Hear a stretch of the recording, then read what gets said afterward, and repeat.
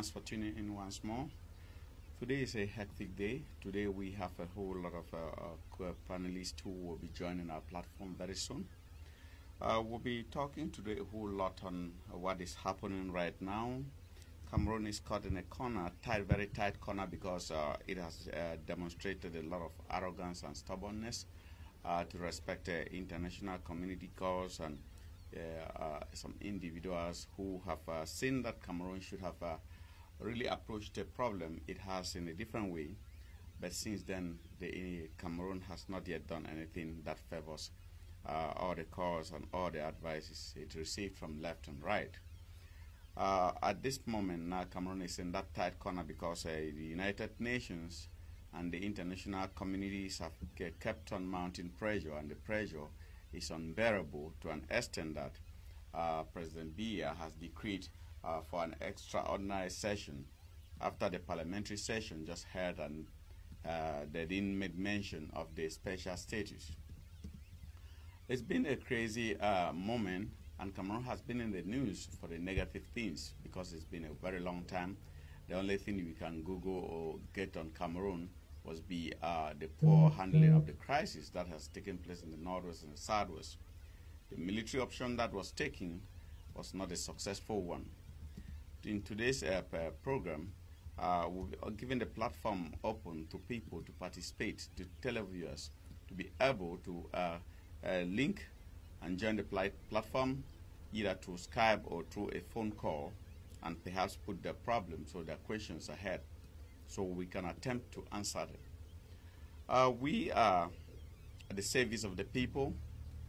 Uh, Media 2 Africa has been doing everything to make sure it pushes uh, the information that would really reach the people, the kind of information, first-hand information, and to equally, uh, during uh, pro programs of uh, charity where somebody is trying to uh, raise something to succeed in touching the lives of those who need help.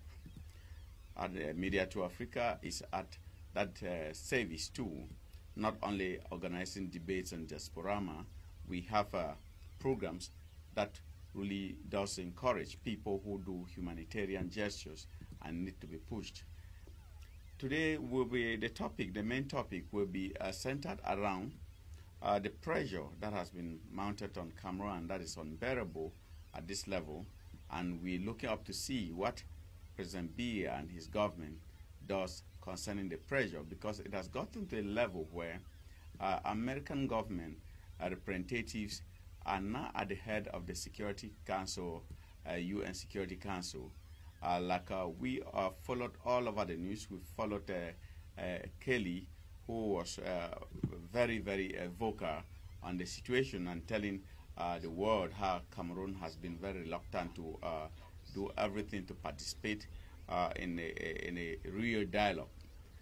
so the shari that took place in Yaoundé that was called a dialogue has not been considered any dialogue at all. So uh, international communities and uh, uh, France, America, and some of these countries that have been following the problems that Cameroon going through for a long time now recommended for a real exclusive, uh, inclusive dialogue.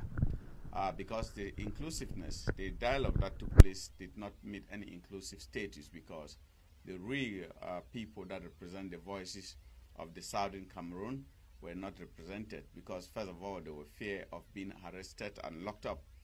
And up to then, except uh, some people who are kind of disguised as opposition, who, uh, according to uh, public opinion, that people who did participate were just simply like the same party that uh, just came in their diverse ranks to talk politics and not a real opposition or people that represented the voices of the Southern uh, Cameroon uh, citizens, the Northwest and the Southwest. We saw a whole uh, kind of a reluctance in approaching the problems, uh, so even the people have said it. This was just a, a, a cooperative uh, match that uh, claimed uh, equal rights at the judicial fields of administration and equally education. But the poor handling escal escalated and it has become a, uh, almost a civil uh, war in Cameroon. Uh, the question the general public, uh, political pundits have been asking, why did it uh, cost Biya so much to just go out as usual and try to meet the people? Uh, what uh, people, general opinion observes is President Biya didn't believe nobody can stand up and, and like try to stand against the long time military power that has been there. But to his greatest surprise, he is getting to his Waterloo. So uh, before accepting for this dialogue, it has really uh, raised the dust for a very long time. Uh, the mics will be open for everybody who has to attend. Uh, Skype calls for those who want to participate and uh, put forth uh, questions or something they think they should contribute to see how could best resolve the problems Cameroon is having. Uh, before we will uh, delve into opening the mics uh, so that people do participate, we'll uh, give uh, a kind of run-up of the series of events that has been taking place during these very tough moments for Cameroon. We have uh, known since this crisis how the military has been handling the problem in its own way very radically and equally it has gotten to the, to the uh, information, the news of uh, the ears of everybody how even those who uh, started as pacific uh, uh, protesters have been radicalized.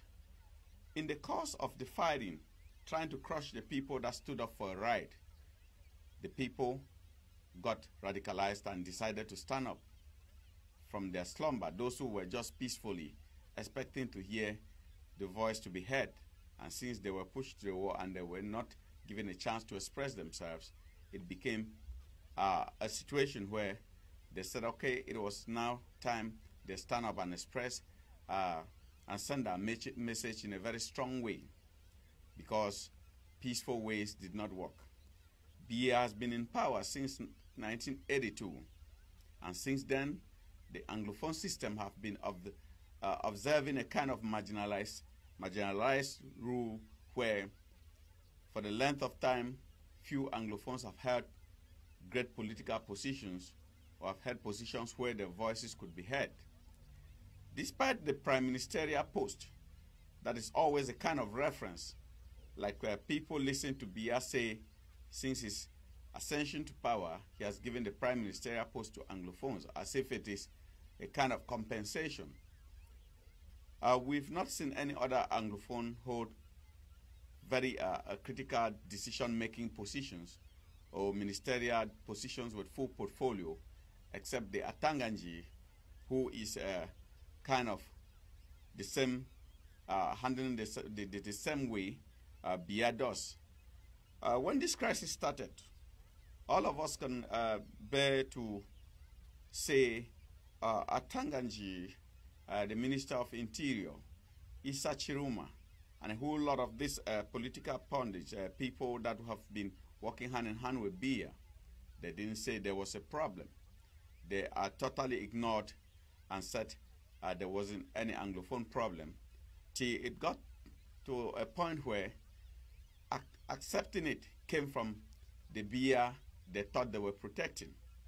President Biya uh, staged a kind of challenge because he came from nowhere and acknowledged it, though very passively, because uh, creating the English faction at ENAM after 50 years of uh, union, of unification, was simply a kind of uh, a, a, a, kind of demonstration or telling the public that this is the right time, this is the only time after the length of time Cameroon has put together that Anglophones were being subjected to uh, participate in courses at ENAM in French. Same for other uh, schools of uh, administration, schools of uh, public uh, works, and equally high institutions in Cameroon too. The official language has always been French. Uh, marginalization was a very clear and it was uh, alarming to an extent that uh, people who have been victims, like the Anglophone community in Cameroon, they didn't feel themselves in the union. They didn't feel very welcome in the union, the unification of Cameroon. It has been um, uh, poorly managed too. Though all this crisis, throughout this crisis, Anglophones have been pacific. It has gotten to a moment where uh, Francophone Cameroonians of good faith have stood up with the uh, Anglophone Cameroonians and they have openly uh, declared their intentions. They have openly supported the Anglophone stance because it has been given uh, a, a, a, kind of sleepless night to Cameroon since the, the struggle started. When you do an analysis and you see that despite uh, the position maintained by Biya and his close collaborators, who people would claim they have not been uh, good collaborators or good advisors, as they would have told Biya, if you don't know there's a problem, we know there's a problem. Because we saw close collaborators who came uh, on media to uh, say there wasn't a, an Anglophone problem and reluctantly uh, submitted and started acknowledging the fact that there was a problem. But after uh, blood has spilled, it has cost a lot for the nation Cameroon just to accept there's, there's been a problem. The question here is, uh, was it really worth the matter to let this blood spill before we accept there's been a problem and try to resolve it? So most people have seen that reluctance and that kind of demonstration of arrogance because uh, televiewers of uh, local channels of the Republic of Cameroon have witnessed situations where ministers and close uh, collaborators of the Biya government have uh, vehemently refused to accept the existence of an Anglophone problem. They reduced it to a kind of regional problem. The, the, the, the, thing that the international body, the thing that uh, observers, people have seen is so clear. All the public institutions that existed have kind of been closed down to submit Anglophones to dependency. We come to rate, we can enumerate things like the marketing board. We can talk of the famous marketing board, we can talk of Cameroon Bank, we can talk of CDC, and so many of these Anglophone establishments that really held uh, its name high were gradually closed and uh, this pushed Cameroonians, uh, Cam Anglophone Cameroonians to uh, be very dependent on the uh, Francophone Cameroon uh, setup. It has been widely criticized, even right to the educational sector, administrative sector, because following a prot protocolial order in respect to the norms of administration. After the president, we have the, uh, the, the, the, representative of the Senate, and we equally have the uh, House of uh, Parliament before you even talk of a prime minister when it comes to standing in the ranks of a protocolial order in the Biya's administration.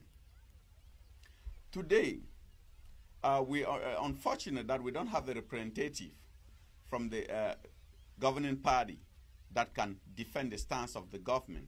So we have one of the finest political analysts of the Cameroonian history and equally the struggle that he has been in close hand to hand and been uh, very uh, versed on the situation back in Cameroon and equally on the section of the struggles. He will be here attempting to answer the questions that uh, you out there watching would uh, pose through either Skype or on the lines that will be op opening for you people to uh, contact us, connect to us. And this person is no other person than Mr. Kenneth.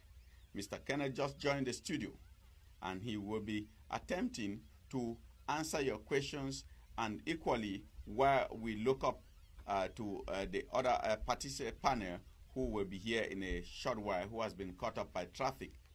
So, Mr. Kenneth, welcome to the platform. Uh, thank you very much, Modest. I am glad to be here today again for uh, a special edition of our program uh, just before what uh, President Biya has called an extraordinary session of what continues to pass for a bicameral assembly at the former Federal Capital Territory of uh, Yaoundé. It is really a kind of a, an impromptu because it took so many uh, people unaware after a parliamentary session took place and nothing was mentioned. In fact, So it's kind of uh, just saying the pressure from outside was unbearable as we would n- not expect to see an extraordinary session when the uh, normal session just ended. Meanwhile, the status, the social uh, special status given to uh, English Cameroon during the just ended uh, national dialogue was even mentioned. So it is kind of uh, the pressure is really unbearable as uh, it is seen from uh, the kind of uh, impromptu call of uh, uh, extraordinary Congress. What is your take about it? Well, my take on this is that uh, Paul Biya, the president of La République, continues to try to play hardball. But at his age, and given the nature of which the struggle for the liberation of the occupied territories has advanced, I really wonder whether he can continue this his uh, gamesmanship, his political gamesmanship that uh, he has been doing for a pretty long time since 1992. Yeah. Um, my brother Modest, before I continue, let me make one clarification, especially to our brothers, as you would, and sisters, of course, of East Cameroon or La République du, Du Cameroon. Cameroun. Uh, let it be clear that we do have a Cameroon Occidental, which is French. I'm sorry, Cameroon Occidental, which is the southern Cameroons, and we have a Cameroon Oriental, Yeah. which is uh, La République du Cameroun, or French Cameroon. And in fact, we also used to have a Cameroon Meridional, Meridional. which is the northern Cameroons. But it is Cameroon Oriental and Cameroon Occidental which uh, uh, merged in a certain way in 1961 to form what would have been called appropriately as the Union of Federated Cameroon Republics. Union of Federated Cameroon Republics. Because, uh, what's his name? Andre Marie Mbida used to be on the other side, and Dr. Endeley used to be on the other side. Then, when uh, um, Andre Marie Mbida, of course, had trashed Louis Paul Aujoulat in elections in Yaoundé, Louis Paul Aujoulat came up with a scheme together with Pierre Messmer, as well as, um, um, oh, what's his name? Anyway, they came up with a scheme to unseat uh, Andre Marie Mbida.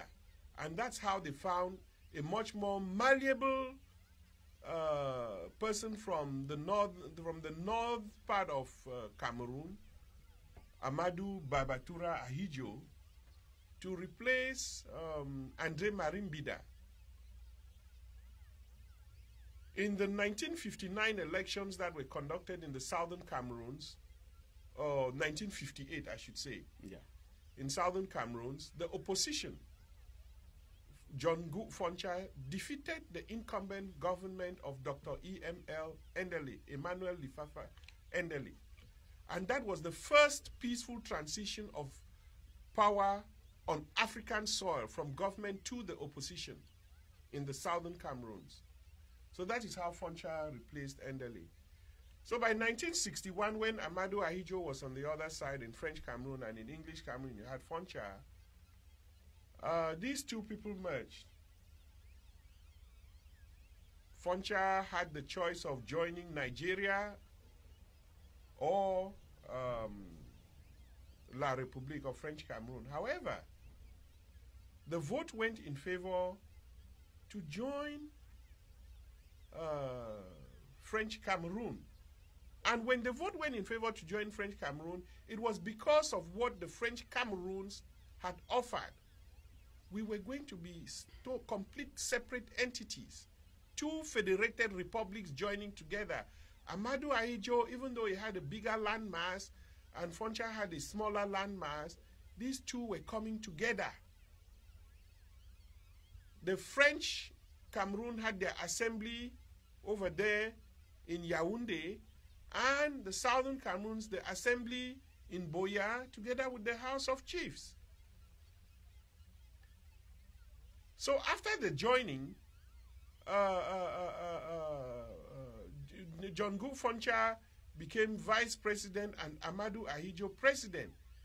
Then you had, I can't remember whether it was Jean Vincent de Paul Ahanda or Anze Tchoungui, not Anze, the other Tchoungui, Simon Pierre Tchoungui, mm -hmm. who was prime minister on the other side, uh, but not like our prime minister because the prime minister in the southern Cameroon is the head of government. So this is what gave. And in the southern Cameroons, you had, we were taking care of everything. We had our treasury, mm -hmm. we had our police force, and so on and so forth. Complete distinct entity from La République du Cameroon. And when Foncha became vice president, a little bit later on in 1966, Augustin Ngom Jua, uh, or circa 1966, I should say, Augustin Ngom Jua took over uh, as premier of the southern Cameroons. And we still had our treasury and our police force in the southern Cameroons. Everything controlled.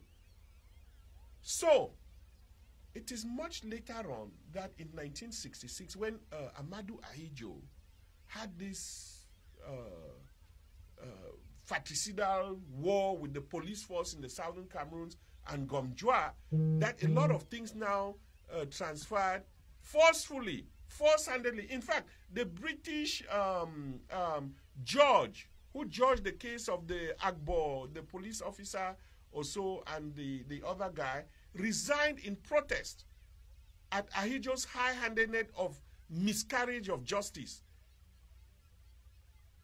they took things now over the, the looted the southern Cameroon treasury, transferred it to Yaoundé, and they transferred the entire southern Cameroon force over to Yaoundé. And in fact, if I can go back a little bit even, at midnight on the 30th of September 1961, before the 1st of October, J.O. Fields permitted the entry of the armed forces of La République du Cameroun into the southern Cameroons. And that is why since then we have been an occupied territory. So when we say that the occupied territories of the southern Cameroons, it is not a joke. It is steeped in historical reality. Absolutely nothing else but historical reality. You see, Brother Modest, I want to make this clarification because there are some people somewhat wish-washy on the history of these two territories, and they say that, or they claim that, the Southern Cameroons is not an occupied territory. It is. The Southern Cameroons is an occupied territory. It's like Palestine. Yeah. It is like Palestine. That is why the international boundaries are there. Cameroon won uh, La République or the contiguous territory won Bakassi from Nigeria because Bakassi was a part of the southern Cameroons with the German Milner line of 1919. Yeah. So, uh, with the surprise that happened yesterday, or was it two days mm -hmm. ago? Two days ago. Um, these political jerks in parliament, I don't know what they are up to, but we, we it remains to be seen what mm -hmm. what they are, what they are trying to do uh, tomorrow. Uh, I want to say a special hi to Dominica Wasum, uh, Kangon George, and Napi uh, Tani who are watching. Uh, Kangon George is watching all the way from Virginia, and I was same uh, all the way from DC. And Kangon George, uh, I know uh, in the chat he said, at unification, uh, where uh, where did they put uh, the, the, the police force that the Southern Cameroonians had? Were they uh, either absorbed in the union government or where the, all these establishments, like the currency by then, the national police, and a lot of uh, government institutions that the federal uh, Southern Cameroon had? Okay. If you look at the laundry list Yeah. of what was offered during the plebiscite, what Nigeria offered, and what La République du Cameroun offered, there is no gainsaying that La République du Cameroun offered something much better. In that laundry list, it was clear um, La République du Cameroun will take care of certain things, and you know uh, the uh, the Southern Cameroon's premier would also take care of certain things. Nothing was going to be merged as such, and even if it were merged, our Southern Cameroon's treasury was supposed to be separate. Yeah. Okay. The modalities of the union, the instruments of this union between La République du Cameroun, Cameroon Occidental, and Cameroon uh, Oriental had to be written down, put in a document, and submitted to the United Nations Secretariat of the Trust Territories. This, uh, the, um, this tr- uh, trust territory thing was um, abandoned or uh, it, it no longer exists. I think it's as of 1994. But up, on, up and until today, that's what we talk about the Union Treaty. Yes. That Union Treaty does not exist. So what effectively happened is that Amadou Ahidjo, le grand répétiteur, as he was called, because he was just repeating what the French were telling him.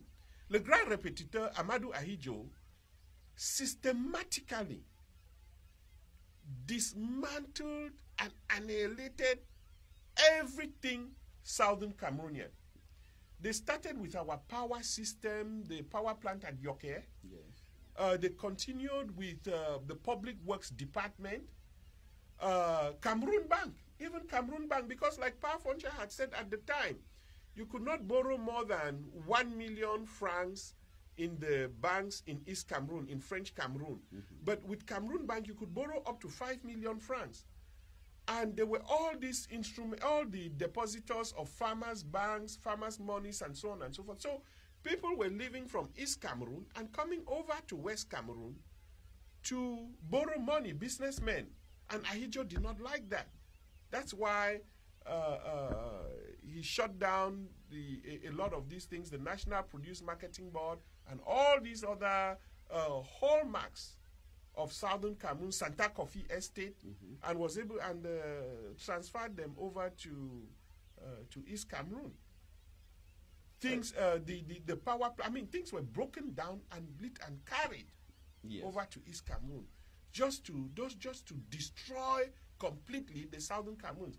That is why, you see, when uh, uh, uh, um, as they would call it, his illustrious successor Paul Biya, when he sat at the interview with um, Moha- Mo Ibrahim Mo in Ibrahim France, in France. he said uh, openly that well we we tried to we meaning the majority tyranny of French Cameroon tried to assimilate Uh, if you speak in the mic, please. and uh, it hasn't No, no, speak here.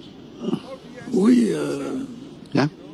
in 1984, George Ngango, when he was education minister, they tried to uh, uh, um, uh, completely wipe out the GCE in what they were calling a harmonization of education. But when we demonstrated, I was part of that demonstration. When we demonstrated in 1984 throughout the southern Cameroons, uh, uh, uh, uh, uh, he had to remove his friend George Ngango as minister and replace him. You know. So th- that is it. The, the, the two were they had to deposit. The, that is why this whole matter. It's not only a fault of um, of the United of well of La République du Cameroun per se.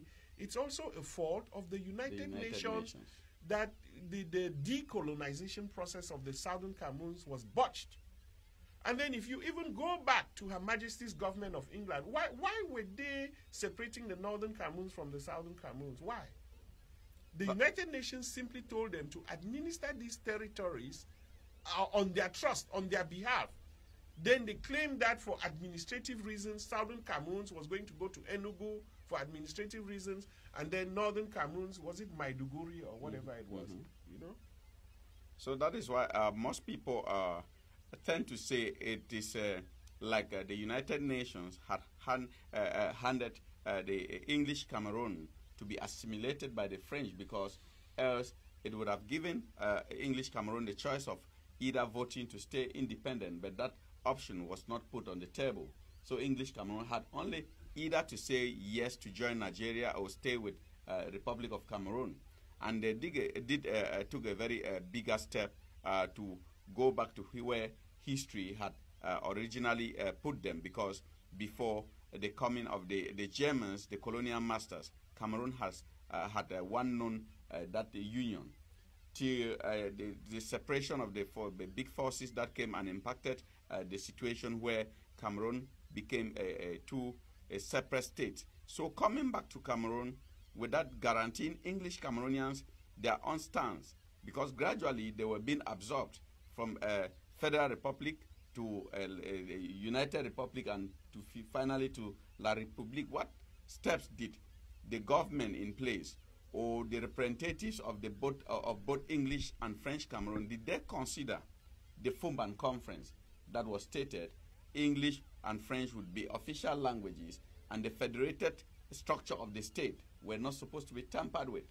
But at, at, at, at, at breaking down everything, uh, President Ahidjo and President Biya gradually and like took it like a one-man decision and became a United Republic of Cameroon and finally to Republic of Cameroon. I don't know if any uh, forces in place were questioned or were consulted before dissolving the federal uh, structure. Okay. Uh, let me mention from the very outset that these world powers, as they are, um, they, they, they, they have some sort of a common understanding amongst themselves and they, they work for their own interest, at yeah. least, especially back at that time, mm-hmm. especially, uh, you know, from the League of Nations turning it over to the United Nations, UN or United Nations Organization. Mm-hmm. Uh, what happened in the southern Cameroons uh, is unfortunate because the exact opposite happened in Kuwait and Iraq. While we, the British, were busy separating the southern Cameroons from, you know, the what was the entire German Cameroons. In, in the case of Kuwait in Iraq, mm-hmm. uh, the, the, the, the Kuwaitis were wanting to join back Iraq in the 50s and the 60s because they clearly told them that look we we are not separate those are our brothers that's the bigger land they were wanting to join back iraq the kuwaitis but the british said absolutely no no no to that mm-hmm. And while they were separating us and uh, out there in the southern cameroons over there in um, in the middle east in the arabian peninsula mm-hmm. um, they were they were they were refusing the Kuwaitis from joining um, Iraq. Now, in the case of the Southern Cameroons, like you mentioned a few moments ago, please look. Both government and opposition wanted to be independent. I have nothing to do with either Nigeria or or, or, or French Cameroon. Mm-hmm. Both government and opposition. In fact. The Mamfe meeting of 1959, there was a meeting in Mamfe in 1959. Mm-hmm in what was then the Mamfe division. And also there was uh, there were meetings in the Lancaster House in England. And in all these meetings, both Foncha and Endeley stated clearly that, you know, they wanted to be independent. Mm-hmm. But towards the closure of some of these meetings, that is when they realized that the British were not prepared to move an inch uh, at all and we're going to tell them, hey, you either join Nigeria or you join La République du Cameroun. That is why, much later on, uh, and as the documents which have been currently declassified show, the French actually called the Southern Cameroons un cadeau mm-hmm. de Sa Majesté. So the Southern Cameroons was a present to the French because how would you explain that in this, uh, uh, uh, uh, first of all, when Foncha was going to the Fumban conference and Ahidjo was going over there, Foncha had adv- uh, Ahidjo had advisors, French advisors. I mean, Ahidjo was a postal service worker who failed his BEPC. Okay, Mhm. and Foncha and others were teachers. Standard, uh, whether it's standard five or they call that thing again? Standard five teachers, and they got into politics with Pamuna and the the other people. So, but at that time we had degree holders too. We also had one or two degree holders who were of that bent. The Fumban conference itself is not that you know these guys did not have advisors, but if you look at the notes from the Fu- Fumban conference, it, it is not even it is not as bad as people are, are thinking. The problem with the notes from this thing is that the implementation went awry. The French, France, had a hidden agenda. Yeah. And Ahidjo was just a grand repetitor that they were using to, you know, uh, uh, achieve what they wanted to achieve. The French, in their grand master plan, was to completely wipe out anything English. And that is why by 1966, when Ngom Jua was there, Ahidjo was looking at some of the actions of Ngom Jua as, in fact, as being uh, synonymous to being a terrorist rather than Ahidjo looking at this thing as that, hey, Ngom Jua is the prime minister over there, he's managing his territory. But in Ahidjo's mindset, why would Ngom Jua be doing this, ordering arms through CDC? That is what the Southern Cameroon's government had always done, you know. So, um, so the issue here really is that France, through their puppeteer Amadou Ahidjo, and Amadou Ahidjo continues today through another puppeteer, Paul Biya, they were in the process of annihilating the southern Cameroons, wiping off this place off the map. That is why when Biya went recently, in fact, when Biya went to France twice on issues of this nature without being present in Cameroon, and they asked him, and he went to report it, then he said, We failed. We failed. Ah, Paul Biya, by 79 or whatever year that was, was already working with Elf Serepca to replace Ahidjo. And Elf Serepca was part of the French intelligence services.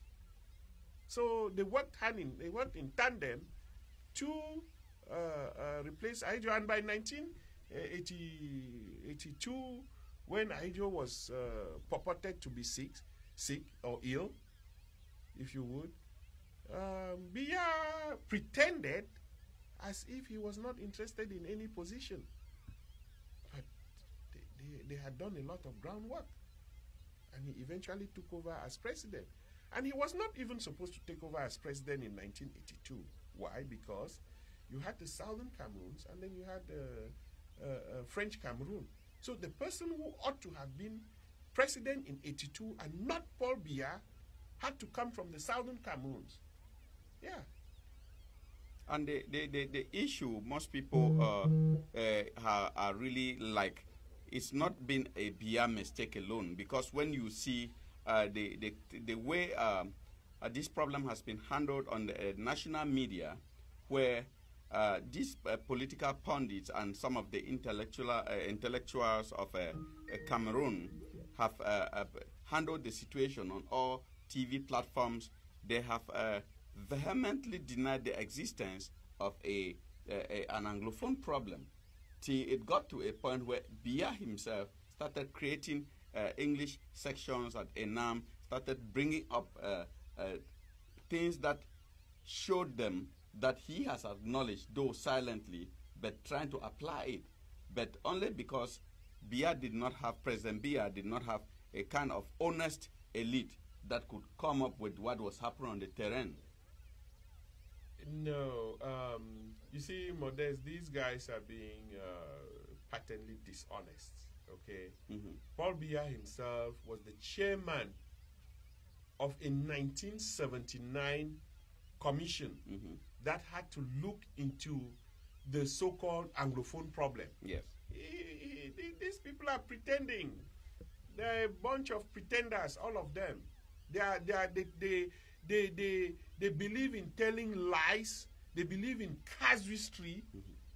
telling lies and for people to uh, think when they say something is uh, uh, uh, black, they want you to believe that it is white when it is actually black.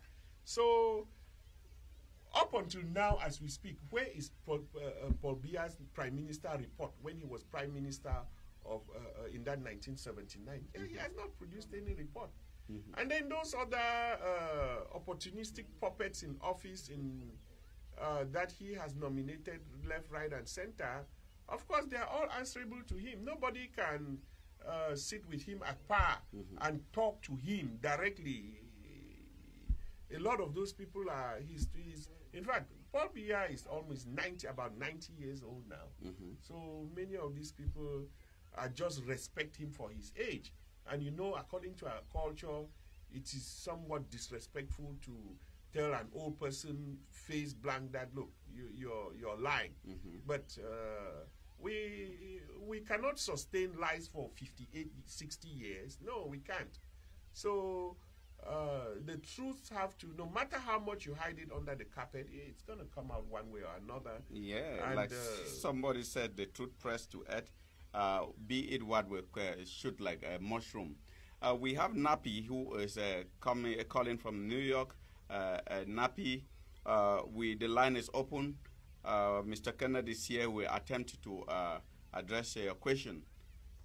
Nappy, you're on. Hello. Yes, hi. Hi, Mr. Nappy. Yes, we can hear you. Okay, I want to tell you about um, whatever um, you demonstrate today about the history of our country. However, um, I want to just make sure that uh, we are on the same way because uh, the past for me is what is called the constant in mathematics. The variable is the figure. How can we use that past to change the future? Uh, most of the people don't want to go straight to look at the future, Yes. and they want to deny the. This where, that's where my problem is. I cannot understand how Anglophone, we could talk about Anglophone and deny the position of the SDF as the person or as the organization or as the party that represents the people of the Anglophone. I think that's the main party and the position of that main party. If it's at the parliament or at the senate or at the grand debate or in the public TV, it's supposed to reflect the the values and the willing of the people of the Norwest and the Southwest Yes. first of all, and secondly, the Cameroonians as a. But when people come, every from the northwest and the southwest, and want to deny this part of the fight, it will look like Bamileke and Bassa want to deny the fight of the UPC. I Yeah. think we are the country that is moving forward, not moving backward. I think separation or division is moving backward, but federalism is moving forward.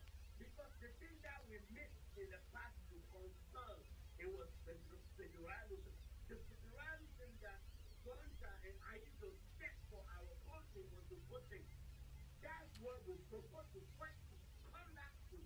My brother, What to be the future of our nation, Mhm. not the history of our nation.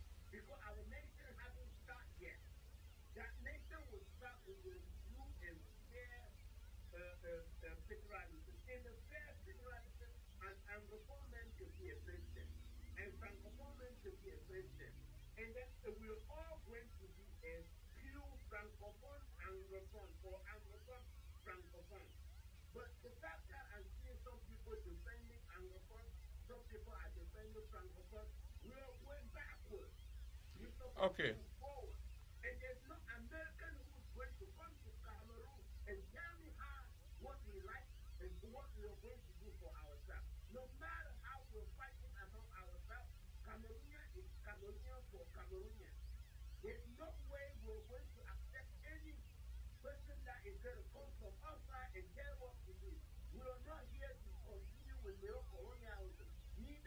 colonialism mentality.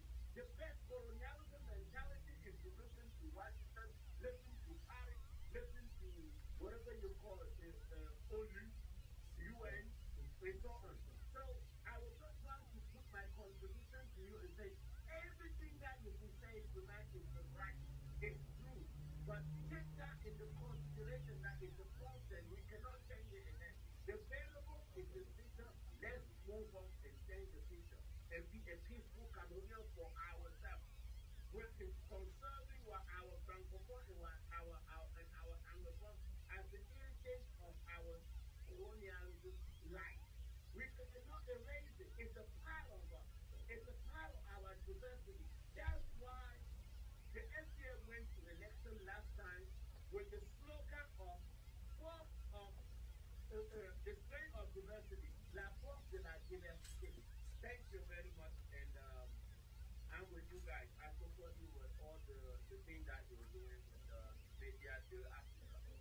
Okay. Thank you, thank you, Mr. Napi. Thank you for that rich contribution. I think uh, uh, Mr. Kenneth will react to your uh, rich contribution. Uh, Mr. Kenneth?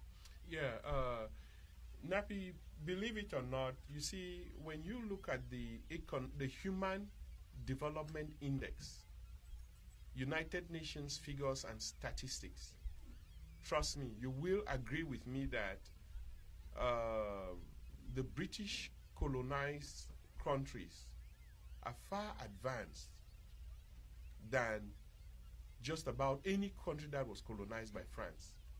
You mentioned neo-colonialism. You know very well already that the British pretty much abandoned, you know, most of these countries. But the French engaged in neo-colonialism. And what did the French do? Um, look, what most people don't know is that what fra- the the sovereign bondage, the economic bondage that the French are administering on their African former colonies is the same thing that Germany did to France in World War II. Germany made 20 French francs to be equitable to one Reichsmark. Yes, that is what uh, Adolf Hitler did. And so that, that, that, that is what they did. They devalued the French currency completely and extracted resources, a lot of resources from France during that period of the World War. So, of course, the French, I mean, couldn't stand this. They hated this to the last man standing. And uh, uh, anyway, the situation over there with Germany and France, the, the, the French corrected it. They corrected it over there. But come now to Africa. Shortly after the colonial period, the French did the same thing that the Germans did to them to African countries. So that's why there's no development uh, uh, uh, in La République du Cameroon and today in West Cameroon. Okay, or the south, the occupied territories of southern Cameroon. So my question and what I have to all my brothers and sisters of La République, right, is that why on earth can you guys and ladies not see the struggle for the liberation of the occupied territories of southern Cameroons as the real liberation of German Cameroon? Because a lot of us have asked ourselves, we, what is francs? We were using a different currency. Eh? We were using a different currency. Then you take our money to put in a bank in uh, uh, uh, BEAC or Bayak San- Nationale and then Bayak Central. Then you turn around and put, I don't know how many percent deposit in the French treasury. Then the French treasury turns around and this is done amongst all. Why can, why can you people not see that the liberation of Cameroon, Cameroon with a K, is not is is, is, is beyond these two shrimp Cameroon with a C streams. People of streams. People who have no backbone. Why can you people not see that? One Cameroon means what? So, Eh? In Switzerland, they speak French, they speak Italian and German in Switzerland. In Liechtenstein, they speak Romansh. You have South Korea, have North Korea. South Korea is far developed than North Korea. These are the same people, the same language, but different systems. So why can you not accept that the Southern Cameroon has a different system and adopt it? In fact, I would want to see all of Cameroon maybe speak English someday. Is that not the language that most of the world is speaking? So, What is mi- mi- Mr. Napi, are you still on? Yeah. So Okay, uh, uh, I think uh, you've had uh, Kenneth's uh, uh, approach to uh, your uh, rich contribution.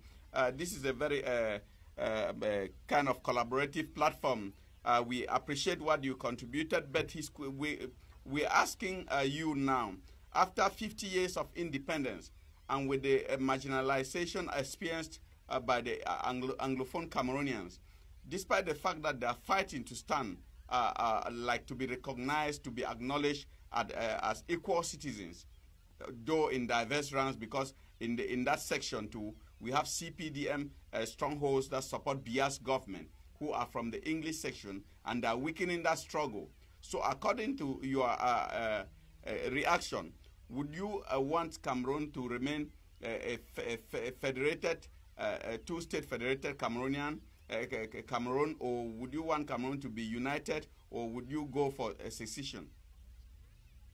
No, basically, I am very um, uh, straight on the, pro- the problem. My problem is to go back to what we had decided in, in 1961.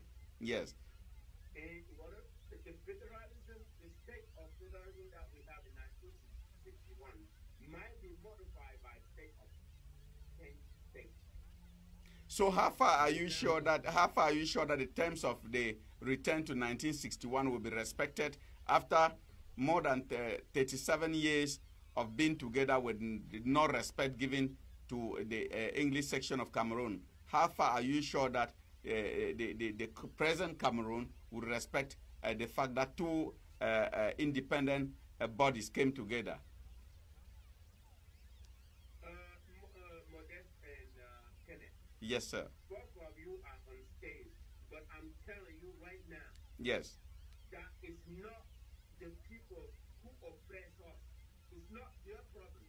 It's our problem if we are not able to impose to other people whatever we want Cameroon to be.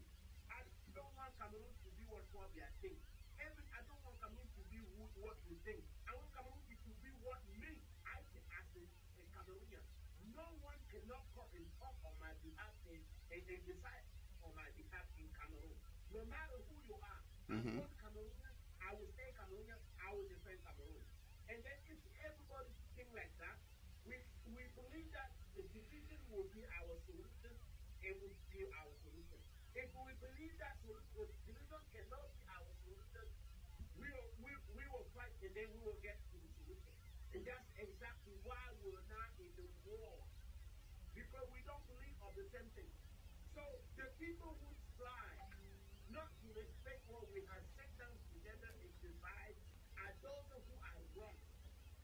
Yes. In Kumba, has decided, and then the meeting in Yaoundé decide other things. That's the people who have, have failed us. And those are people who fail us cannot be the, those who are going to run us again. So if we stand up for one Cameroon and then have one voice, we will stay united and then we will be in a federation. That's my voice. Thank you so much for your contribution, uh, Mr. Napi. Thank you, thank you so much. Uh, we have people who are also uh, trying to come up. I want to first of all welcome uh, James Tato, who is watching. Uh, uh, he says he doesn't trust La République, that they will never respect any agreement. That's James Tato, who is a Before you purple. finish- Before you finish, Yes. I want to I want to put the same thing. I don't trust La République. I don't trust any government that will put in, in Cameroon by the French people. I don't trust them. Okay. I'm telling you, I don't trust them, and then I will never follow them. I never fought Aito. I never fought Phobia. I won't for whoever will come to Cameroon by French by French means. Thank you for your contribution, uh, Napi. I understand. My grandma, my grandma is from Baligham. Yes. in the northwest. And my grandfather, my grandfather are from Bamasinge on the on, in, in Buddha in the, in the French party. Who do you want me to choose between the term that I have on one side and the term that I have on the other side. They all my family. And this has been for I'm the I'm the I'm the head of the Wanyapi family who come from my grand grandfather. I'm the fourth generation that came from the area, but from the Kumbat whatever it is, and they moved to Bamasinge, which is in, no, is in now. My grandmother from another side moved from the, Francophone side to the Norwest side and, and created his family over there maybe 400 years ago. So these are the things that are very difficult for people who, who know the of their people to make a decision. I want to remain myself, not a Frenchman, not an Englishman. I want to remain Cameroonian. You can call Ambazonian for the whole land. I will, I will, I will buy. Um, my brother, Nappy. Thank you. Uh, listen to Kenneth's reaction. I all of us have families that are brought from Cameroon Occidental and Cameroon Oriental. Um, please don't confound statehood with ethnicity. If we try to go very much back in time, I mean, or even now, I remember when uh, uh, Mr. George Achu was governor in the eastern province, eh, the government that doesn't keep in touch with their people one uh, uh, did a ceremony one time, and when they went out there, eh, all the people in that village were not there. They had gone to Central African Republic because there was a very important event of that ethnicity with their brothers and sisters on the other side. No, it's not a matter of ethnicity. It's a matter of family. I'm talking about my family. I'm not talking about my ethnicity. This is not a matter of ethnicity. Matter, a, a, a, family, can discuss ethnic. Family can discuss something. Okay, uh, thank you, Nafi. Thank you for your contribution. Uh, I think we'll be taking you up again if uh, some other people uh, release the line. We have a very easy line. We have uh, people trying to call from left and right. We can for your contribution. We no have, problem. Uh, John Judah, who says the union uh, experiment has failed. Let us uh, move on. You got it. We have uh, Mimi Lunan, Larry who says La Republic uh, is a French government. Uh, Claude Miran also football is like uh, we have starting starting uh, my brother who's working uh, all the way from uh, Greenberg, Netherlands. Uh, this uh, mentioned Pastor James is watching Dominica Watson and Five Kevin.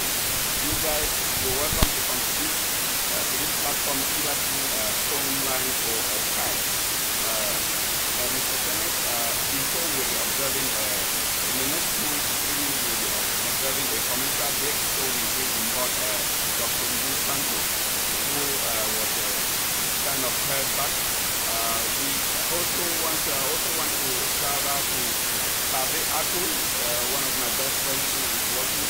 I like your comment, keep on. Uh, Mr. Kenneth will have to react on this as well as uh, uh, contribution. This is uh, what most Cameroonians are taught to do. Because for the length of time that Cameroon has lived as one country and enjoyed the peace family that has always been preached, uh, there's a lot of intermarriages uh, because when we hear today of the, the, the, the, the grass field, it's northwest west. And when we hear of the, the south, we, the, that is, we're talking of littoral and, uh, south, and some part of southwest. So it is kind of uh, breaking a whole lot of uh, family lineage. There is nothing, I don't know why people are bothered by that. Paul Biya has relatives in Equatorial Guinea. Uh-huh.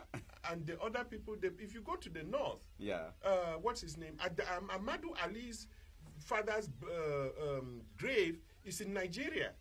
Yeah. So what are these people talking about? The the people of uh, what is it? Um, if dwellers, mm-hmm. the dwellers, the Koses or Bakose and Kundus or Bakundus, these are people who came from Congo.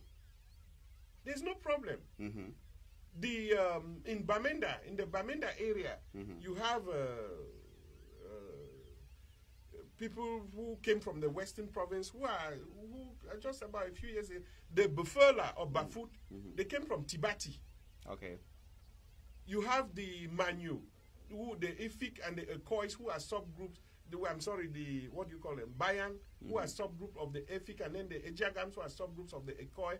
They came from uh, uh, present-day Nigeria, and they settled at Ossidinge, a place called Ossidinge in Manyu Division. So you go all over Cameroon, people came from all over. I Sure. met a lady working at Chevy Chase Bank who told me that she's Congolese, but her grandfather uh, came down from Yokadouma. So let us not confuse statehood with uh, uh, uh, uh, Family with family ties and and and, and, Yeah. and, and, and ethnicity. Okay. I have I have great grandparents who came from uh, the Western Province, but Sure. I'm a Southern Cameroonian. Let's, in fact, as a matter of fact, look, in the Southern Cameroon's parliament, you had at least three first generation East Cameroonians Sure. in that parliament. So let us not mix things.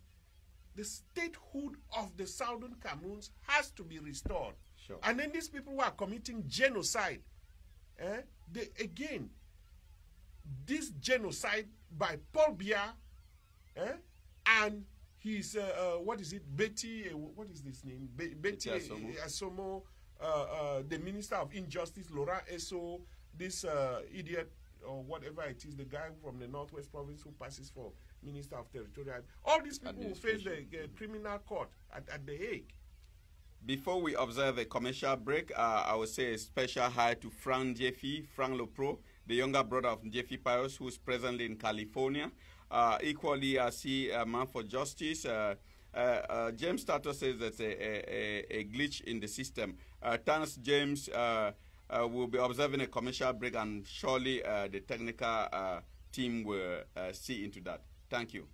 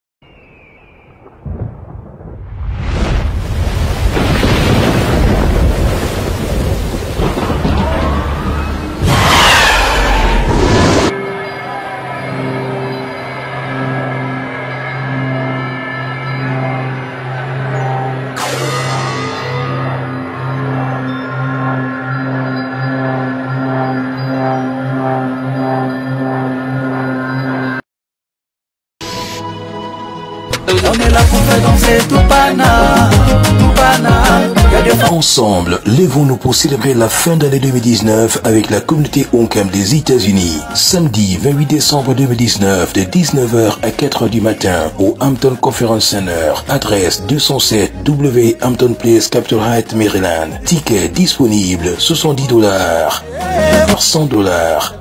et 150 dollars. Contact 240 665 87 59 202 288 71 75 240 863 53 42 202 766 28 93 202 718 49 49 Sponsor officiel Fortuna Téléphone Partenaire média Média de Africa and of Year Paris. Un événement à ne pas manquer. Bonne année 2020 à tous danser tout pana, tout pana. Y'a des femmes du champagne ici, c'est pana. On est là pour faire danser tout pana, tout pana. Ensemble, lèvons-nous pour célébrer la fin d'année 2019 avec la communauté Oncam des États-Unis. Samedi Uh, if you can speak in the mic, please. Uh, No, speak here. We, uh, Yeah? No, it's okay. It's okay. Speak who can hear. Do you, Who can hear, yeah. you Speak here. understand me? I so I am uh, completely embarrassed because uh, I brought some words to say. Uh, I would like to do this. Uh, Yes, Mr. President. Can you, you want to make a statement? Please. uh, two minutes. two minutes. Two minutes, Mr. President. I know you are a president, but here we are all equal. if you don't mind, I hope you don't mind. This is civil society organization. For a moment, we are bosses. Bon, Please. bon. Monsieur le Président, Madame, uh, do you understand me? Yes. Madame uh, la secrétaire générale de l'organisation. Uh, if you can speak in the mic, please. Uh, No, speak here. Oui, uh, Yeah? No, it's okay. It's okay. Speak who can hear. do you, Who can hear, yeah. Speak here. understand me? I so I am uh, completely embarrassed because uh, I brought some words to say. Uh, I would like to do this. Uh, Yes, Mr. President. Can you, you want to make a statement? Please. Uh, Uh, uh, two minutes. two minutes. Two minutes, Mr. President. I know you are a president, but here we are all equal. if you don't mind, I hope you don't mind. This is civil society organization. For a moment, we are bosses.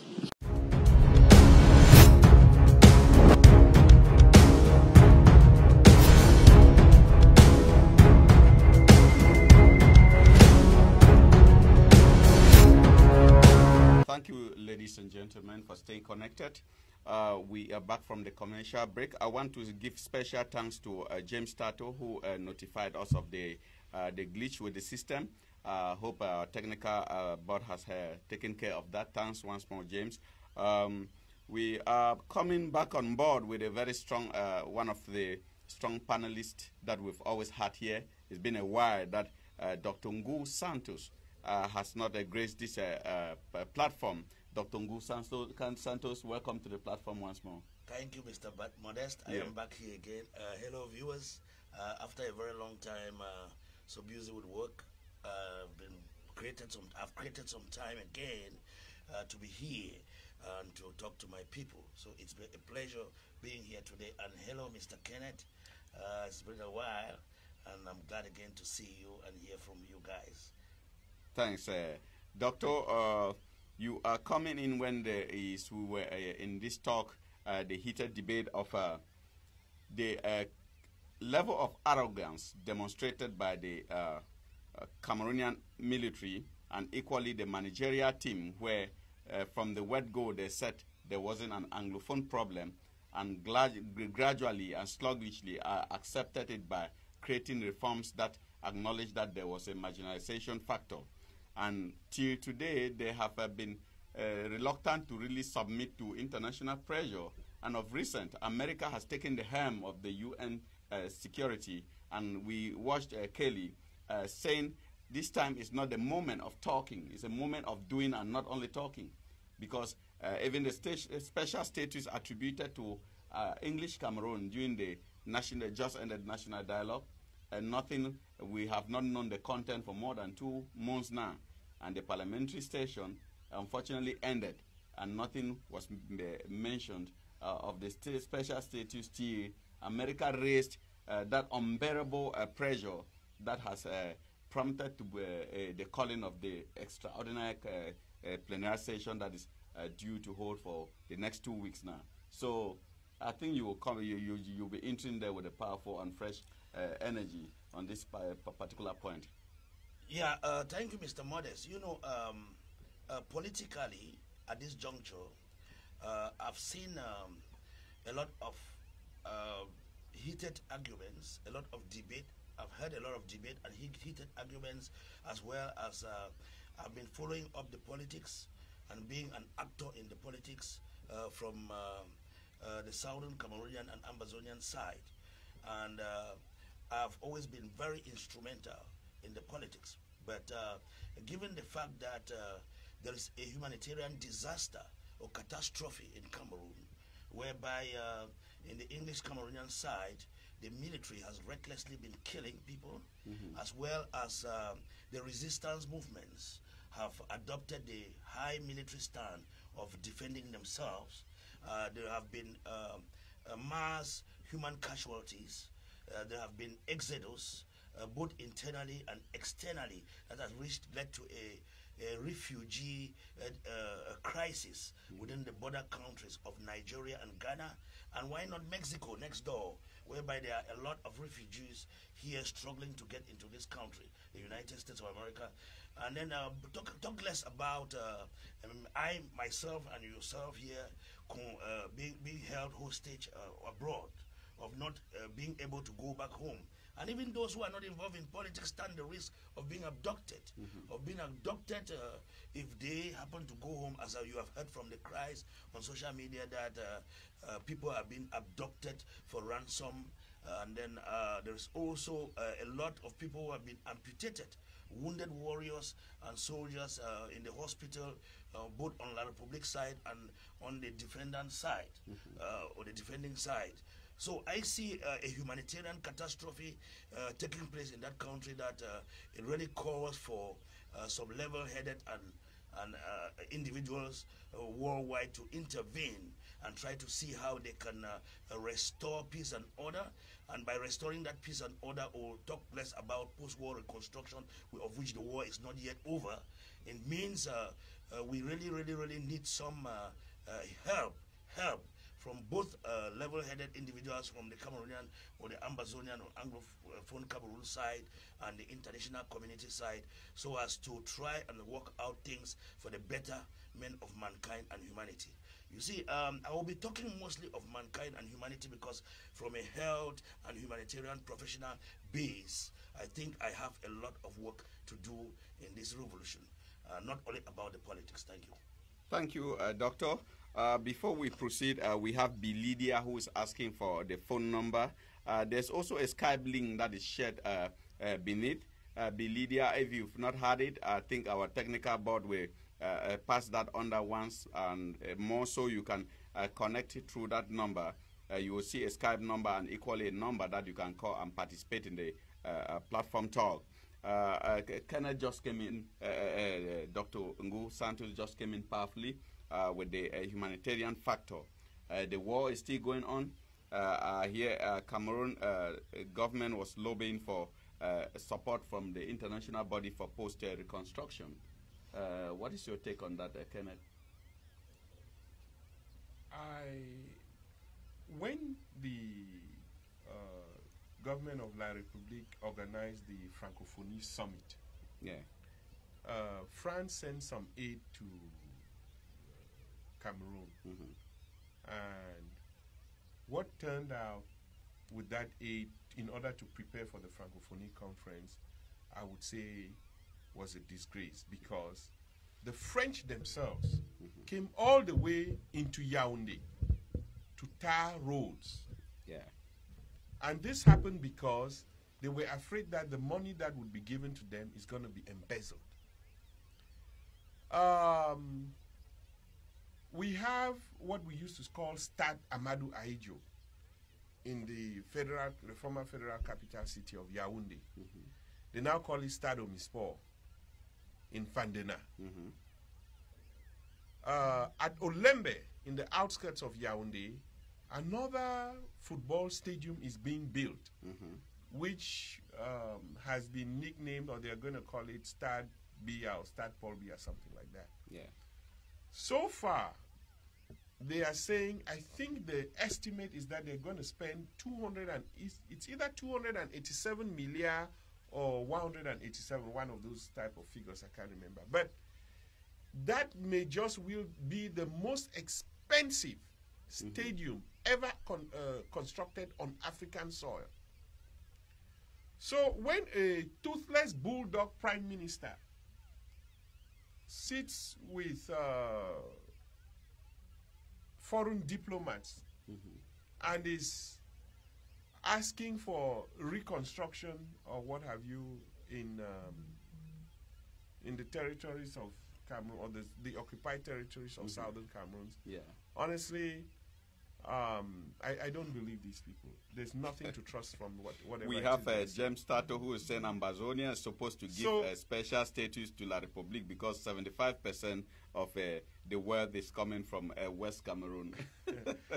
James Tato, that is a very strong one. That, that, that yeah. is true. I mean, that is true. The oil, oil is being, uh, oil has been tapped from Isangele, Mm-hmm. the Rio del Rey oil basin, since 1977. Yeah. Uh-huh. And then they are paying taxes not in Victoria or Limbe. They are paying taxes to the city of Douala. You know, the the the Sonara oil refinery. It's there. It's it doesn't function anymore at all. Um, you see, this first first of all, right? They have to be two separate states. Yeah. So I don't know why La République du Cameroon is trying to put the cart before the horse. First of all, they had uh, mentioned that there's a disarmament, something that uh, this former governor is uh, is part of that committee, and then uh, now they're talking about uh, look, Southern Cameroons would have its own statehood. Let the people uh, uh, people like Dion Ngute and all these other people they will come back home. When they come back home that is when we can now function as a people. Not these token representatives we have today over there in La République du Cameroon we we we we we are of we participate in elective politics not nominative politics. What, are- what are you nominating? Yeah. that's pure nonsense That is why uh, when you see, uh, it's like uh, when from you assessing uh, the reproach, uh, the approach of the government to resolving this problem. I see like Cameroon has always uh, given the wrong, attempted the wrong solutions in the heat of the crisis. I didn't see the impact of the national bilingualism bureau of what that, that was headed by uh, Musonge. I didn't see its own impact. It it it, it, it was it is dead at arrival because I've not seen any impact the national bilingualism has uh, put in this struggle. Uh, do you uh, see with me, or do you have a contrary opinion, or you see something that the bilingualism section or the faction that was created has contributed to resolve this crisis? Um, I think when you talk about when you take the problem of uh, the ongoing crisis and relate it to bilingualism, I think uh, it's far fetched because um, you will not be examining the root causes of the issue. Uh, the root causes of this issue of this crisis is well known. Um, it began all with lawyers and teachers, you know, then generated into a a conflict of ideas and opinions and um, disagreements over issues of uh, uh, uh, state statehood, over issues of statehood, and um, uh, to resolve any matter, that will be the first item to put on the table, which is the statehood. Yes. Because you know um, the history speaks for itself. That um, uh, two two entities had their own independence on separate days Separate days. and then Separate came years. separate days and separate years, and then came to live in fellowship, uh, in harmony, uh, as uh, uh, people who have to exist with their own prime ministers and their own governments. Then they went into an agreement of living like brothers and sisters uh, without a treaty of union, without a treaty of union duly signed. And I think that um, uh, the, the arguments are all there. And anybody who stands to say that, uh, for example, I've had arguments a few days ago uh, with some francophones who were telling me um, uh, that how can a state spring out from nowhere? I mm-hmm. asked the that I, I schooled that lady by telling her that if she knows what was called West Cameroon and East Cameroon, mm-hmm. then you will not tell me about a state springing out from Nowhere. nowhere. Because then I discovered that the problem that she had was the acronym or the appellation of the name Ambazonia. Mm-hmm. And that is what doesn't sit comfortable with her or comfortably, comfortably with her. I told her that forget about the name. You can be uh, uh, called West Cameroon, you can be called Southern Cameroon, and today you decide to say you want to change your name to be Change name. It doesn't mean that that territorial uh, aspect becomes missing, right? So many countries have changed that Good. name. Some countries have changed their name, You but know, issue, Gold Coast that but, is today but Ghana or what, something. What we have to be looking at this moment, from a humanitarian uh, perspective, as I've always come back to say, is uh, uh, do we wait uh, after uh, uh, the- or the international must the international international community sit and watch about eight million people are eclipsed from the planet Earth uh, before, Before they come to intervene. And that is where my problem lies. And also, when it comes to the government of La République du Cameroon, I always like to be very open and transparent by uh, uh, telling you people that m- must they continue with impunity to eradicate our people? No. Must is there an appropriate time whereby people can come together and talk about ending this human catastrophe, this inhuman catastrophe that is ongoing? Yes. Uh, who are those who are capable of bringing this under uh, some control? And then when you talk about it and you look at what the, current uh, political uh, uh, uh, uh, map of what is ongoing, uh, like the, the, so the, the much talked uh, Swiss talks.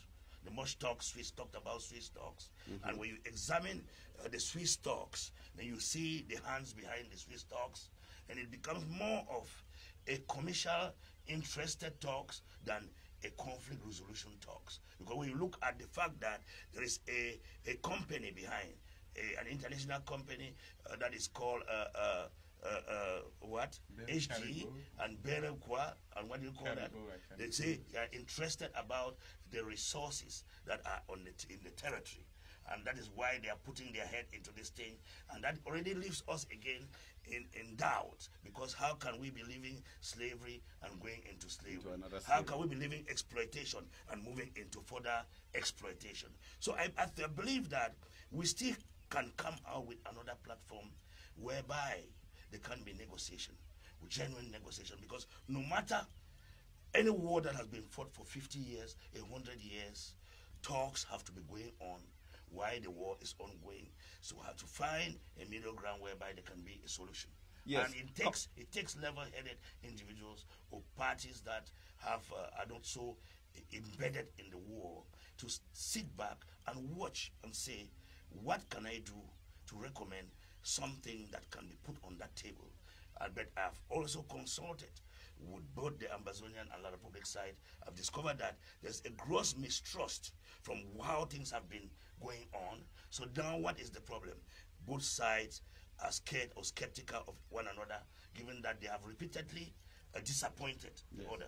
So in this case, they are requesting for international mediators, international observers and mediators, because no matter if we fight a war for 50 years, 100 years, all must end on the negotiation table. Uh, come to talk about that, uh, Mr. Kenneth.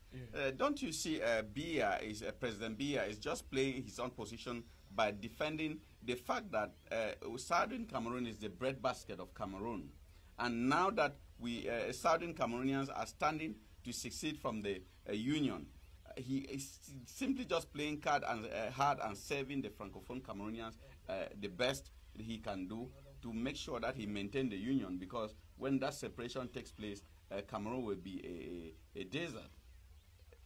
Well, um, Paul Biya is just a continuation of Amadou Ahidjo. Yes. And so the French were looking for somebody who was more, more malleable then uh, Paul Biya is a continuation of, of that whole process. Okay, uh, we we are signaled from the uh, technical that, board that somebody's online. Hello. Please, can you say your name and uh, your and Okay. common? Yes. I'm Brother Chorans of the Lord Jesus Christ. I'm the one using the Facebook account of Tamambang the Elysia. Oh, okay. So, what's your contribution for tonight's talk? Yes, uh, actually, I have so much to say. Uh, the first thing would be to first talk about, sorry that I just came in now, about the humanitarian crisis in the southern Cameroon. Mhm. Uh, we, we've requested that uh, all those who are doing humanitarian assistance in southern Cameroon should not pass through La Republique du Cameroon because this is a conflict of two states. Let's put the point so clear as it's supposed to be we are no longer going to talk about negotiating or accepting the works of La Republique in the state of Southern Cameroon. That one has finished. We are making it very clear. We contacted the office of the United Nations Organization of uh, the Center of Humanitarian Assistance in Buea, and we spoke to them clearly that they should know that henceforth they must be using the things of Southern Cameroon. It is not a joking matter. We cannot accept such such insult from Biya and his government on our people. This is a, this is very finite. It, there is no way we are talking. We are angry and we are very angry. We are making it very clear everywhere. In the US here, we are making it very clear. We are not taking anything again from La Republique. They have insulted our people. They are causing genocide on our people, and they cannot come again to pretend that they want to build. They are the ones who succeeded from the Union in 1972. We are taking it. The root cause of that issue is 1970. It's not the teachers' strike of 2016. That was just a passive issue. The root cause is the fraud of La Republique on the federation that was installed in the two countries from 1961. Because in 1961, after the two countries joined, we had the Southern Cameroon with its own name and La Republique with her own name. When they joined, Southern Cameroon became West Cameroon as from 1961 to 1972. And La Republique was called in that union East Cameroon. So anyone who is using that name for West Cameroon is talking about federation. We are no longer at that level. We've made it very clear. I say I'm Brother Charles of the Lord Jesus Christ. We are when we talk about restoration, we mean restoration to the the state of the independence, total independence of Southern Cameroon. And when we are not talking restoration to West Cameroon, we are making our point very clear. And all of these people, like Dr. Nisantus, who are struggling to make all those petty games with Dr. Constantine Chuenko, we have told them, just like in the last meeting, after the fall of Raloku, we shall do general hanging. We shall hang all those people who are supporting this genocide on our people. We spoke it last time in the United States. We had a meeting at the United States Institute of Peace. We spoke it there. I spoke that we shall do hanging. We shall arrest all of these people. This is not something to be to be taken as if it's a light issue. You cannot kill someone on the person's land and you use a gun and you go behind and you see that person is a terrorist. It does not work. You don't negotiate with thieves. On this earth, there is there just a moral issue coming from your mother preacher tells you that if you steal, you have debased yourself and you need to beg. We don't negotiate with thieves. And when we finish with the non-violence issue, there's a ladder. When we shall end at that level and La Republique does not succumb, we shall do a full-fledged war. We shall fight that war. You cannot be burning our people, killing them on their land, and you expect us to come and be begging. I am giving my name, Joe Ransom. I'm not hiding. Thank you It's so not- much.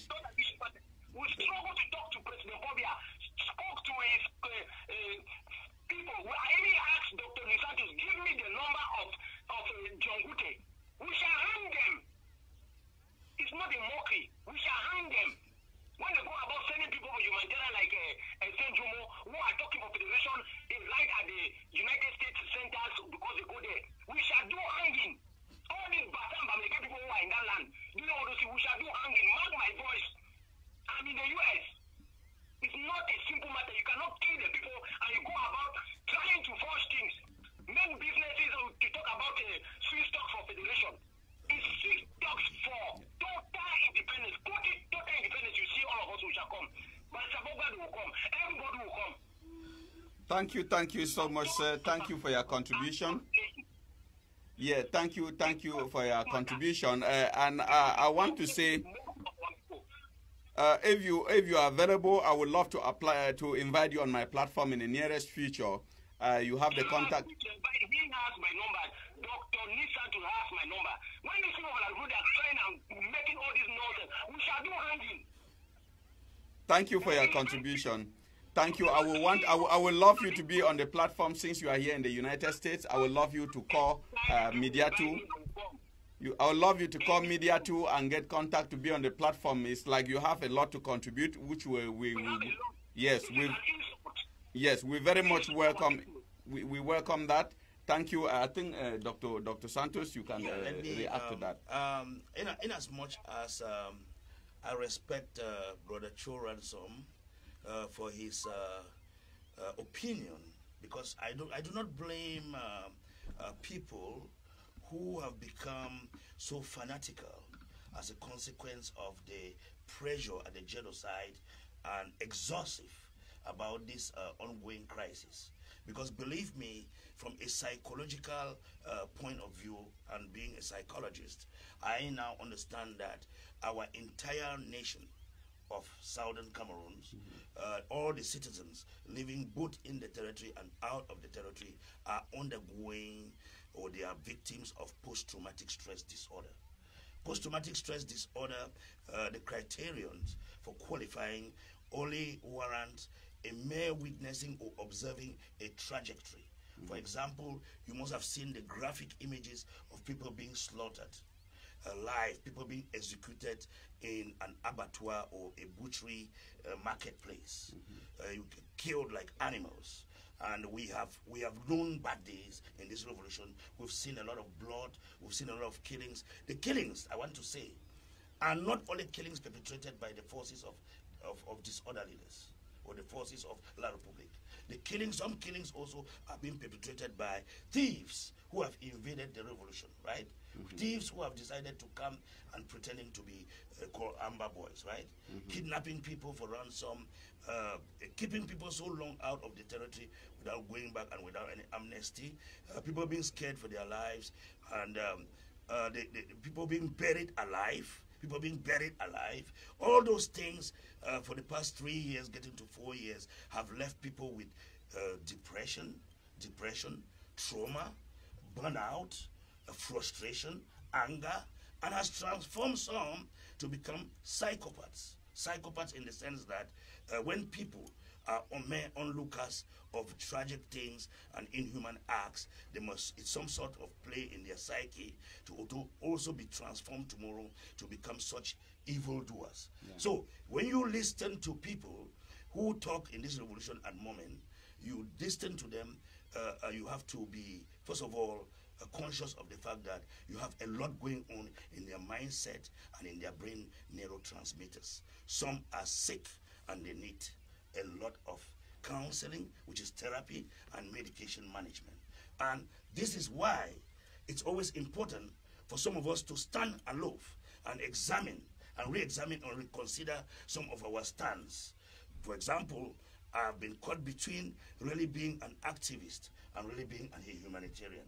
Somehow, people may not want or people may not like some of my stands at mm-hmm. times because I'm wearing too many hats. Wearing the hat of a politician and wearing the hat of a doctor who gets up every morning and treat and do problem solving. And the kind of problems that I solve, imagine I'm just coming from the shelter, a homeless shelter in DC, which has 500 occupants of diverse mental disorders, right? Mm-hmm. From morning to night, I have three or four cases to consult. One, one patient, I have to spend three hours to do a comprehensive evaluation, treatment planning, and also uh, distribute tasks to the psychiatrists and also to the nurse practitioners and all those. This is the task that I am confronted with. And these people I'm seeing are not different from the casualties that are caught in the bushes, trapped in the bushes, trapped in the forest, trapped in this political ongoing uh, brouhaha, right? And when Brother Cho, people like Cho Ransom, they air their frustration, I look at it, I step back. Because if you, for example, we usually say that if you are taking your shower and you see a madman comes and pick your dresses and it's escaping, and you get out of that shower and start chasing that man, who is mad? Who is more mad? Mm-hmm. It is you mm-hmm. who is chasing the madman to recover your dresses that is naked that people will consider as mad. Because if they say, hold the madman, people will come back after you who is naked to mm-hmm. hold first. So in this kind of a situation, consider people being depressed. Consider them suffering from an- an- anxious for something which is like suffering uh, anxieties. Consider them to be victims of post-traumatic stress disorder. Consider them to have picked up some psychopathic traits from the inhuman uh, butcheries and, uh, and, and, and bad things that are happening there. And when you want to respond to them, just tell them that, bro, you do not expect me with all the intellectualism I got, with all the treatment planning tools that I got, with all the crisis management and resolution skills that I got to behave like that other man, right? Who is in the streets with cutlasses and cutting people in the name of independence, right? Mm-hmm. I will step back and say World War One ended on a table. World War Two ended on a table. Will the Ambazonian crisis or will the Southern Cameroon crisis not also end on the table? Mm-hmm. Of course, the answer is it will eventually end on the Table. table. Yeah. But the issue is given the distrust or the mistrust between these two entities that has spanned through the years. We will not want a charade, Yeah. a charade to take place. We want people to come on the table, visit the root causes of the issues, right? Yeah. Where it all started. Why was there that mistrust? What has gone on through the years? Because the simple definition of this problem is an economic problem. You have taken people's resources. You have used it all through the years. You have deprived them of it, right? They have not been having a fair share of the cake.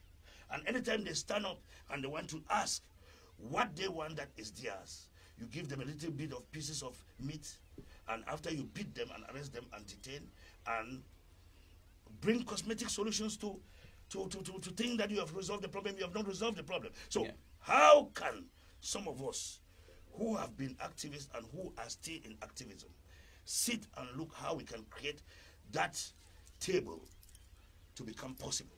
Yeah. To become possible.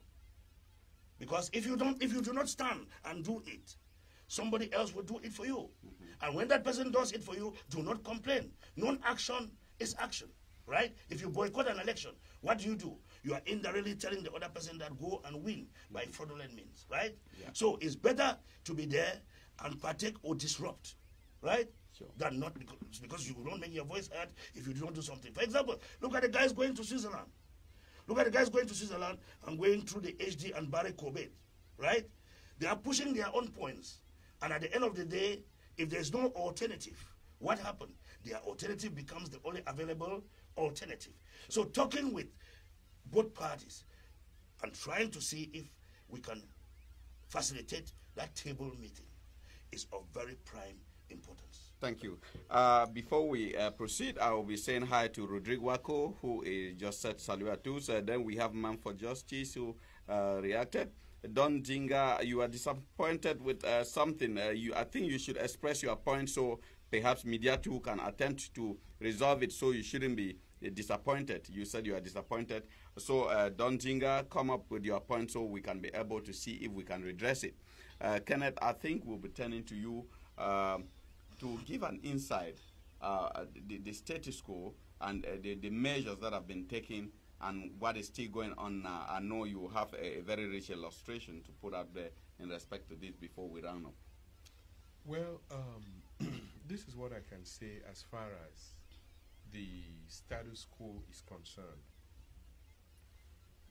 Um, going back to 1961, Amadou Ahidjo violated the 1940 the article Article 47 of the 1961 Constitution, where it said that the form of the of the of the character of the state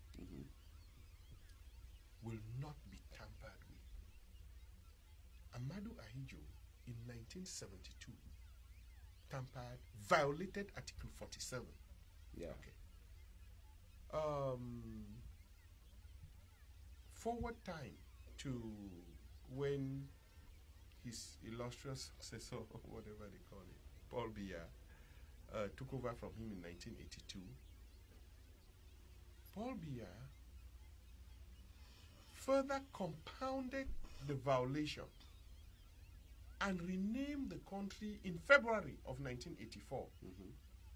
Renamed the country La République du Cameroun, thereby auto excluding Southern Cameroons or La République du Cameroun itself Yeah. from the union with uh, uh, uh, Southern Cameroons. That is why Fonforju Gorji Dinka uh, took him to court. And of course, since uh, Gorji Dinka was far more intelligent than Paul Biya, he, he had to follow him with guns. It's like know, uh, Mickey. It's like a Mickey don't do those Fomoko type has difficulties hearing you. He says your volume. Okay, Mhm. my volume is uh, an issue. Okay. Thank you, Mickey. So, thank you. So, the, the, uh, that is what happened since 61. Now, let me say this, and this is where, whether it is Paul, whether it is Amadou Ahidjo, or even if it was Andre Marie Mbida, Mhm. or whether it's Amadou Ahidjo, or you can even argue and say, even if it is Ka- Kamto, Mhm. or even you put any, even an Anglophone, even a, a, a Southern Cameroonian there, the Southern Cameroonians need to restore their statehood. Let nobody be fooled. Let me come see what, tell you what, a little bit of what I'm saying. In 61, Amadou Ahidjo was made uh, uh, president of both the Cameroons, right? Okay. And Foncha vice president. In 1969, or 68, 69, somewhere in there, you had people from France like Abel Eyinga, who was submitting his candidature for the president of the country. And of course, back then, being what it was, um, his candidature was not accepted. Abel Eyinga. Abel Eyinga is Bulu. His candidature was not accepted by uh, uh, Paul Biya. Okay. I'm sorry, by Amadou Ahidjo. Okay. Then, people were encouraging Pa Foncha to run at that time. But he was vice president, and I guess he had seen the high handedness of Ahidjo, and perhaps he was afraid. I don't know. Yeah. But he did not run. Before uh, 60, before 1970, one of Paul B, uh, Amadou Ahidjo's prime ministers, Vincent de Paul Ahanda, had actually resigned because of the high-handedness of Amadou Ahidjo, the president at the time. Okay. Prior to the 72 so-called refer- we or yes referendum, mm-hmm. Amadou Ahidjo was to dissolve the union and form, or, or let's just say dissolve the, the federation, the paper federation, because it was never really put in, never put into practice. Mm-hmm. They were still systematically annihilating the southern Cameroons. Okay. In 72, part of the agreement, unwritten as it were, mm-hmm. was that if the first of the country is a, a, a from La République or French Cameroon, then the second is from the southern, uh, the English-speaking Cameroon. That is how, when Ahidjo had created problems in actually nominating a prime, how do you nominate a prime minister in southern Cameroon? Those are the type of uh, that's the type of nonsense that Amadou Ahidjo engaged in and ended up nominating uh, uh, uh, Pa Muna as prime minister at the time when I, in fact, in my, I don't even know whether Pa Muna was uh, a member of parliament at the time that he was being nominated as prime minister over there at that time. Anyway, so by 72, part of the agreement that Amadou Ahidjo had was that they will abolish the position of prime minister of East Cameroon and of West Cameroon. That is why, from uh, uh, after that 72, there was no position of prime minister at all. Because the first was now Ahidjo, and then Pa Muna, who was prime minister in, in West Cameroon, now became president of the National Assembly. So you had Amadou Ahidjo as president, the first in command, and then in 1972, the president of the National Assembly, Pa Muna. And the 1972 constitution stated very clearly that in case the president is incapacitated or what have you, then it is the president of the National Assembly who takes over. That was how it was as of 72. three years later, three years later, this man who was uh, uh, working at the presidency, I think he was secretary general over there, three years later, what the English and the French had agreed to Ahidjo completely abandoned it and created the position of prime minister, bringing in uh, uh, uh, Paul Biya uh, as prime minister. Again, completely forgetting what or, or discarding what they had previously agreed The to. The post of the vice president. The post of the vice president. Uh, no, um, there was no The vice of- president. speaker of the Speaker of the Speaker of the National yes. Assembly, because it is rather Pa Foncha who was the uh, vice president. Okay. In 1979, four years later, Ahidjo changed the constitution of 72 to state that if anything happens to the president of the republic, it is the prime minister who will take over. Amadou Ahidjo was now bypassing the English-speaking uh, uh, uh, uh, uh, uh, representation of Pa St. Muna, Solomon Tandeng Muna, who was pri- uh, president of the National Assembly. In their grand plan, that was 79.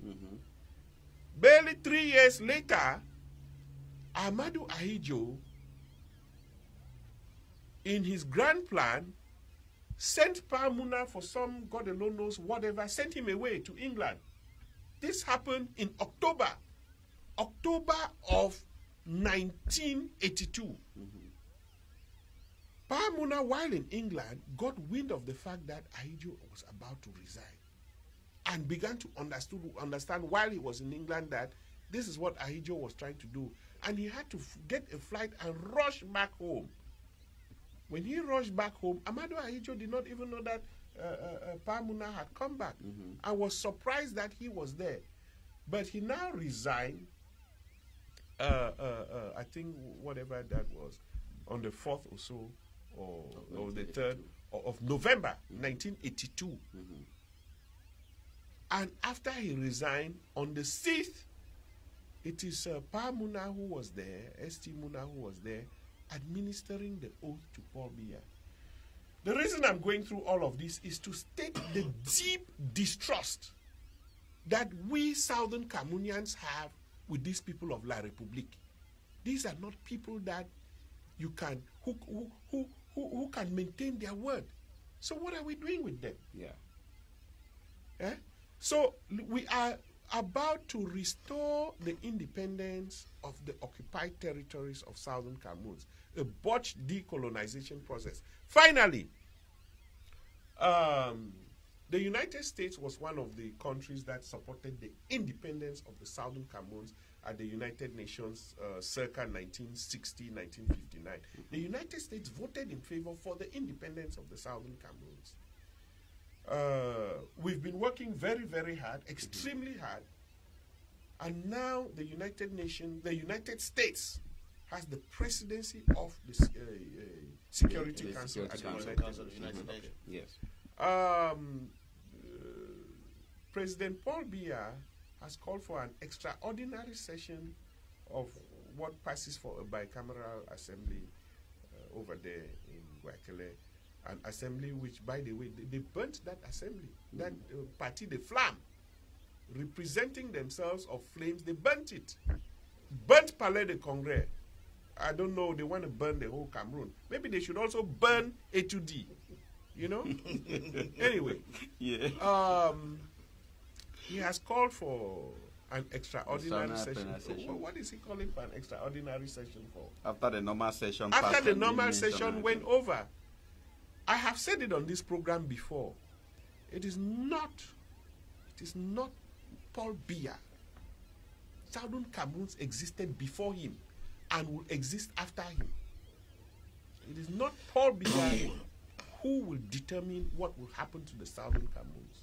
It is Southern Cameroonians themselves. Yeah. The Southern Cameroons intelligentsia abroad and the Southern Cameroons inside Southern Cameroons. In fact, even with collaboration with those in, in, in the Biya government.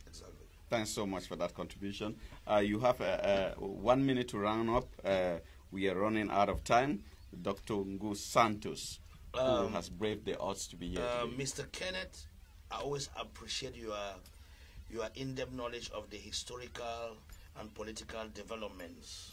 And I say you say it as it is. Congratulations for that. Sure. And when I'm come here more is to uh, not only to share my own opinions or weigh in from my own psychoanalytic angle or troubleshoot or do crisis management and intervention, but also to uh, get some knowledge from uh, Mr. Kennedy Yes. about some intricacies of what really happened within uh, that structure.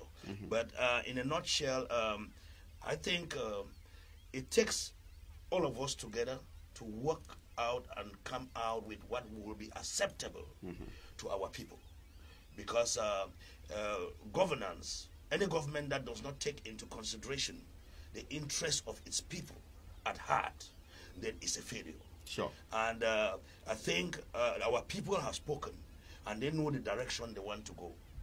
It is left for us and those on the opposing side, as well as the international community, to understand that this problem will never be solved by blood and iron.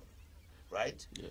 Otto von Bismarck said it that the greatest question of the day will not be resolved by speeches, but by blood and iron. Yes, but later on, it proved it proved that it couldn't continue by blood and iron. Iron. It should end on a table. World War One ended on a table.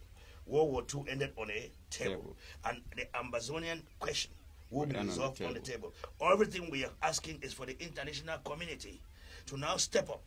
Especially with the taking over of the United Nations Security the Council by the United, United States, States. who has always been uh, calling for peace, uh, dialogue, uh, without precondition and stuff for four years. Why our people have been eclipsed from planet Earth? This is the time for them to come in and serve as mediators or international observers to any accord. And for that, we stand here as level-headed intellectuals from the diaspora to facilitate any good resolution that will bring good outcomes. Thank you. Thank you so much, Dr. Santos. Thank you, uh, Mr. Kenneth. Uh, uh, there's no, you see with me that when I introduced uh, Mr. Kenneth as one of the finest uh, analysts of uh, political standard situation of Cameroon, uh, I didn't, uh, I meant it because most of the uh, platform followers, we have uh, Don Jinga who says Kenneth is very knowledgeable and always speaks facts and he learns a lot from him. Uh, so many people have acknowledged that. Uh, I want to call, personally invite Mr. Cho, who is answering under the shadow of Be that if you have that time, connect with Media 2 and be on our platform. Uh, I will welcome you for uh, any uh, kind of contribution you want to give here. We are uh, rounding up now. I want to thank those who have stayed connected from the first minute to the last minute, and we thank you for your uh, always being there. I want to thank uh, our collaborators. We thank President, we call him President, that is uh, Marisha Tiamo. I thank Honore, who has been contributing from his on site, though out of state. I thank our technical uh, bot led by uh, Jules Kamful who has been doing a great job. Uh, I want to now thank those who have stayed connected uh, and say, uh, take an appointment uh, when our flyers go out. It's been an interesting debate with two great invitees who honored my invitation, and they have put out sufficient information that has entertained your time, and I think you will not regret it. Thank you so much. Take an appointment when our flyers go out for the next production. Thank you.